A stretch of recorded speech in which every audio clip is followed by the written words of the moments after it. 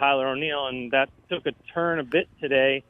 So it was really kind of hinted at yesterday, and we wrote about it then too. This notion that he's trying to win the center field job. Yeah, I think it's really cool. I, I, that was a really good story. You know, I hate to do the what are the odds question thing, but um, do you think he's got a, a, reasonable chance to win that center field job, uh, or or is it going to be kind of what we expected, at least uh, tentatively going in, that it would be you know O'Neill and left, maybe Carlson center, maybe Newt and right, or the fact is it just interchangeable? Period.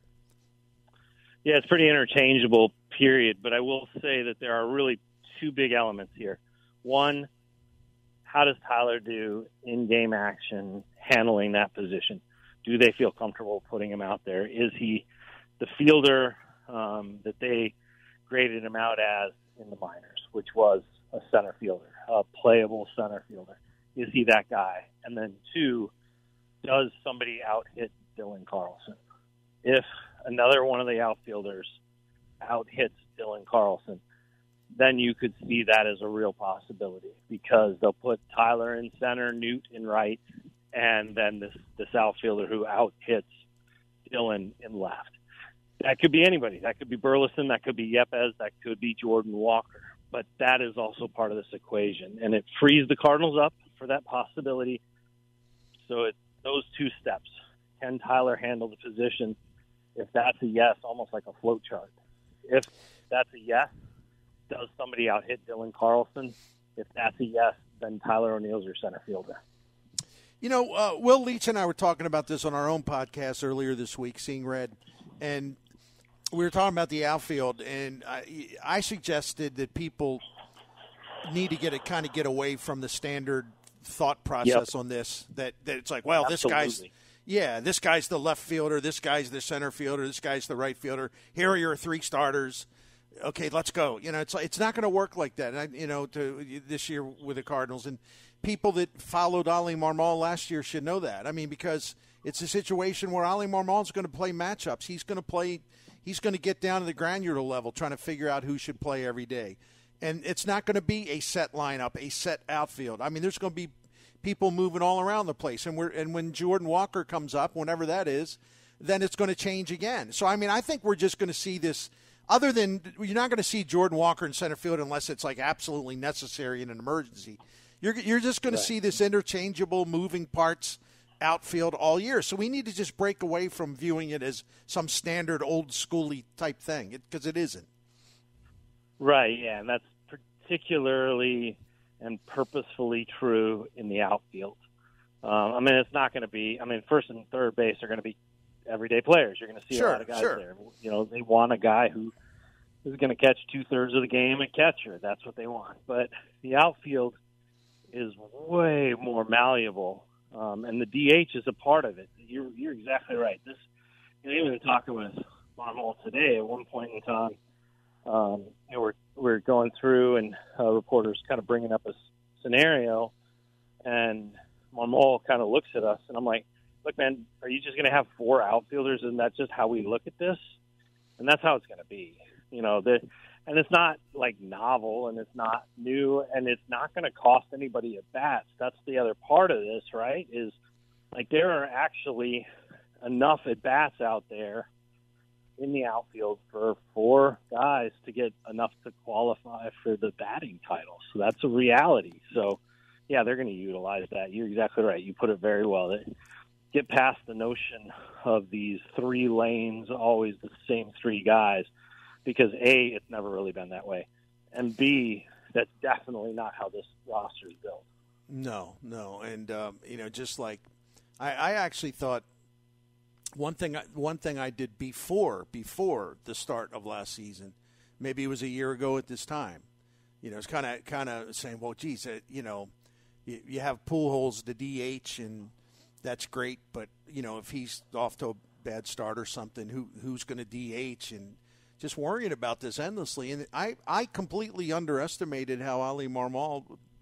Uh, how well he was going to handle the DH spot. I mean, to me, one of the interesting stats of last season is that Albert Pujols only made 36% of the uh, plate appearances at DH last of the entire DH spot. like the Cardinals yeah. DH plate appearances, he only had 36% of them because Marmol was just moving people into that, including Arenado and, and Goldschmidt, probably more than we anticipated, at least me. Um, and he he just was shuttling people in and out of that spot all season and really maximized the production. I mean, he really did a fantastic job with that. Mm-hmm. Yeah, and it's going to be more of the same this year, except for there just won't be a guy who goes on a surge to 700 career home runs. Though, if somebody does, it would be quite a record. Yeah, no, no doubt about it. Hey, Derrick. Um, yeah, I who is anybody close to 700? Any, who's close? No, but Nolan probably not. home run will be 300. That's pretty good. That's pretty yeah, good. 300 is not too not too bad.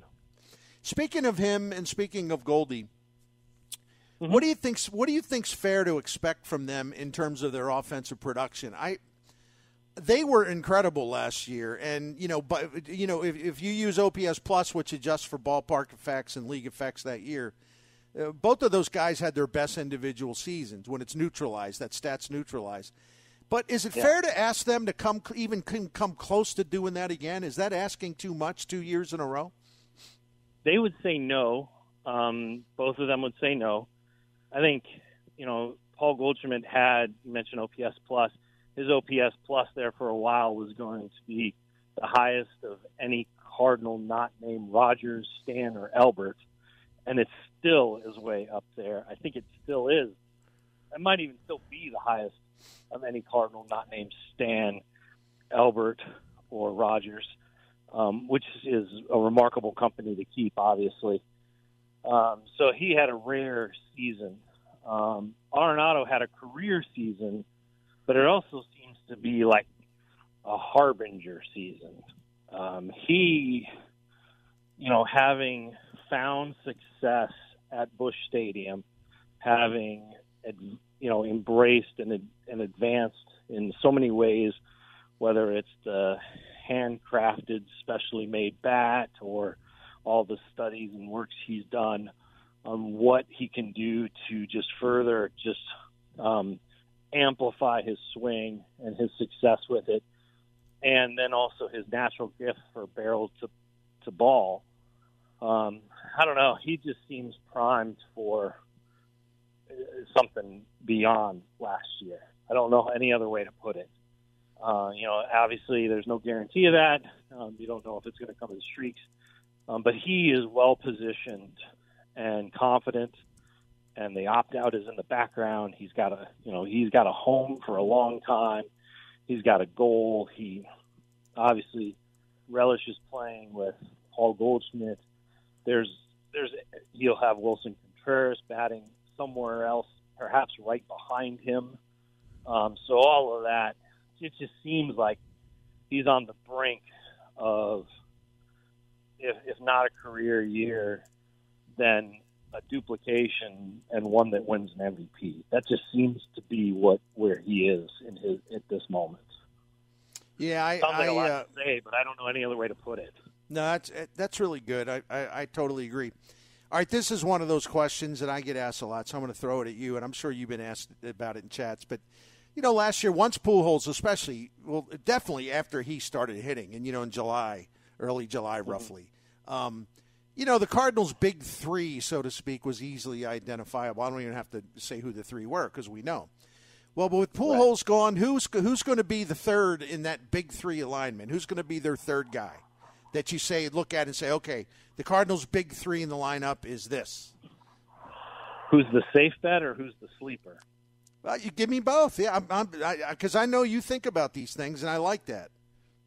The safe bet is Willson Contreras, right? Like, I mean, he's going to bring a level of power to the catcher position that the Cardinals haven't had before, and you know, he's going to if if he bats behind Goldschmidt and Nolan Arenado, he's going to feast on RBIs. If he bats ahead of him, he's going to feast on runs, whatever, however it works out. Um, the sleeper is Tyler O'Neill. We go back to our center field conversation. I mean, if he's right when he's been on the field, and this includes last season um, when he wasn't when he was out of the arbitration fog, he's been really good the last few years. And while all the metrics and things and performance last year suggested that Nootbaar is on the rise, and he is. The kind of damage that you're talking about, that kind of power force, that kind of like who's the trio that that makes people stand up and pay attention. It's it's O'Neill is the sleeper pick. There is it's like it was a few years ago when it was Goldschmidt batting second, O'Neill third, and Arenado cleanup, and that's when the offense took off. And if they can get that again, that is probably the best offense they could have. That's probably the best recipe for offense. Yeah, I, I you and, and I are on the same. Bar and Contreras would be compliments. Yeah, you and I are on the same page on that. And I, uh, I always wonder, since you mentioned Nootbaar, if you were filling out the lineup, um, at least mm-hmm. f- for for a good percentage of the games, because again, it's not going to be a standard lineup. But would would you would you go Nootbaar at leadoff? Would you go Donovan at leadoff, or would you go Edman at leadoff? I, I think uh, Ed. Speaking of myself, I don't. I don't know. I don't think Edman would be my top choice, but uh, open minded on the other two guys. What do you What do you think? Yeah, you know, I think it's really interesting that one of the one of the ways this lineup goes is does it go left, left, and right, right, right, right, right? And how do you look at that? Do you care? Um, does the three batter minimum play into this, or do you just ignore it and just go with your best? I mean, you know, I really like the argument of stacking on base percentage and then stacking OPS, right? And right.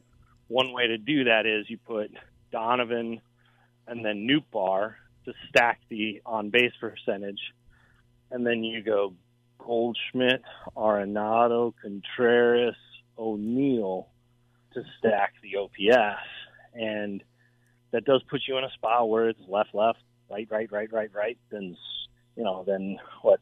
Maybe even right, then switch, switch. You know, uh, with Carlson and um, and Edman there toward the end. So I, I just I don't know how to balance the lineup at the moment, right? Like you just don't know. Um, but one way to do it would to have Nootbaar lead off and Contreras bat second, and Donovan where like have Donovan move back in the middle right. as sort of like a an OBP. I don't know the the OBP and a PBJ, right between two OPSs. That's right. Um, yeah, it's interesting because I still, I still kind of wrap my head around the fact that the Cardinals, um, you know, in those two playoff games had Donovan batting fifth, and I don't even, I, I'm not even being critical of that. I think it just showed you what maybe the difference between last year's team and this year's team because uh, yeah. if O'Neill is healthy, uh, Donovan's not batting fifth. Uh, if uh, if Contreras is a Cardinal, let's say for that series. Um, Donovan's not batting fifth. It just you know, boy, it just right. showed you that when Marmol had uh, fewer fewer viable options, you know, it was uh, the lineup wasn't as easy to fill out. I mean, there, and it's right. and it's no disrespect intended to Donovan, not at all. But it's just you, you probably just want a little more power there, and um, yeah, I don't know. Yeah, yeah, that's all. That's all. I I think so. I mean, I just I think one way to look at the Cardinals lineup is who makes the fewest outs have them bat a lot. And because the guys who also hit for damage are not making a whole lot of outs. And that's actually kind of why some of the projections really love the Cardinals lineup is because A, the projections don't buy into lineup dynamics. They just look at who's going to do the damage. They don't put them in order, right? They say like batting order doesn't matter, right?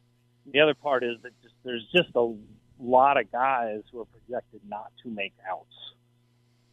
Yeah, and Contreras, uh, especially for a catcher, has always yeah. been a really good on base percentage guy. So, yep. Well, Derrick, Derrick, yeah. I know you're very busy. I don't want to keep you longer. I, I, I enjoyed the conversation as always. Um, thanks for all the hard work that you guys are doing down there. It's uh, ma- amazing uh, amount of content, but it's quality content at that. So, thank you so much. All right. Yeah, thank you for saying that, Bernie. I appreciate it. it. Now you, you we have it. to go do it tomorrow, right? Yeah, absolutely. Yeah, hey, you know, uh, I've told you this a hundred times, maybe a thousand times, and you don't listen to me. So what's the point? But pace yourself, man. Pace yourself. yeah, I'm trying. Either, either that or load up. Uh, you can buy those double caffeine uh, coffees at Starbucks, like the little con- the little things for the Keurig. You got to Yeah, go double. yeah, ca- you got to go double caffeine, I guess. That is something that I do need to do. I need to make a uh, coffee run tonight, so I have some ready. No, no, I'm just trying to multitask. You know, this was a chance to talk with you, but also get my steps in. So I just went for a nice walk. So That's what I. know, It's there we go. good. I'm glad I could provide a service. So yeah, no, thanks. Thanks I'm for like- being my I'm path. I, I'm your treadmill, man. Thank you. Take care. That's our guy, Dennis, uh, Derrick Goold, down in, in Jupiter. Cardinals lineup's fascinating me. It's going to be much deeper if uh, if O'Neill's healthy and doing what he he'll do, doing what he does when he is healthy. Uh, their their lineup's going to be deeper. The Contreras thing makes it a lot deeper, and uh, I'm glad that Derrick and I see eye to eye. It'd be okay if we didn't, but uh, people just need to stop being so hung up on this. Well, who are the three outfielders that are going to start? You know, who's, you know, it's like, well, who, who the three starters are? Who are they? You know, it's like, um, you're going to have plenty. You're going to have uh, you're going to have four, maybe even five outfielders start quite a few games. It's just a matter of matchups, who's healthy, uh, how the the Cardinals manager views bullpen scenarios from the other side like when when you know anticipating okay he's going to bring in his lefty here uh, and he lefty's got to face three guys you know that kind of thing so maybe that's when Oli Marmol swaps you know swaps uh, swaps some people around in his lineup but people just need to get over this it's not going to be where this is your everyday left fielder this is this is your everyday center fielder this is your everyday right it, it's just not going to work like that you know, like Derrick, Derrick extended the point I made, and I appreciate that. It's not only just the three outfield spots each day; it's also the DH. And Oli, Oli Marmol gave you the roadmap to how he he likes to handle the DH, which is to distribute the at bats to quite a long list of people. It's not the exclusive property of one or two guys.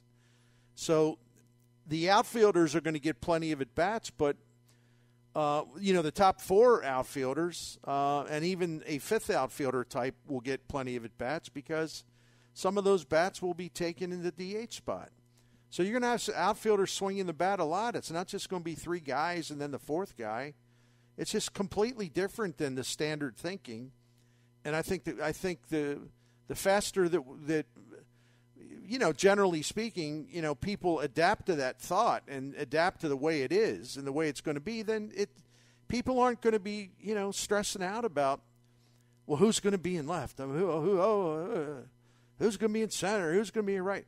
O'Neill can play all three positions. Nootbaar can play all three positions. Carlson can play all three positions. Walker can play left and right. I guess in a pinch he could play center. He did last year in the minors. Um, Brendan Donovan can play left or right. Um, he, he he did not play any in center last year, but I wouldn't rule out him getting you know if they need him, uh, getting uh, y- you know a, a, a shot there uh, coming up.